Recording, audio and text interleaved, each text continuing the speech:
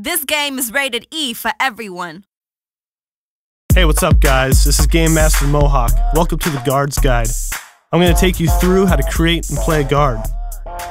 A guard has two key attributes in a successful game, and that's passing and taking open threes.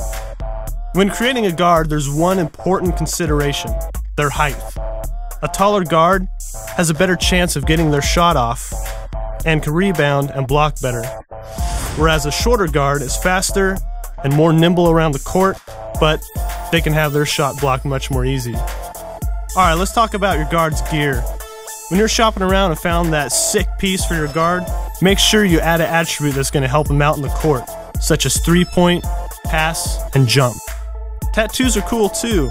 Not only do they look sick, but they also help you gain experience and points faster whether you win or lose in a game. Hairstyles and accessories, such as earrings, bracelets, definitely add a customized flair to your guard on the court. Alright, let's talk about your guard's training and skills. When buying training, make sure you hone in on shooting, passing, and stealing. When buying your skills, I'd recommend getting the through pass, the direct pass, the nimble steal, and the diving catch. Your guard's basic gameplay. When you're on the offense, always pass the ball and try to be open. Make sure you're out in the three point line and don't get in on the paint. That's where a center lives, not you. For defense, I'm going to tell you one thing, man.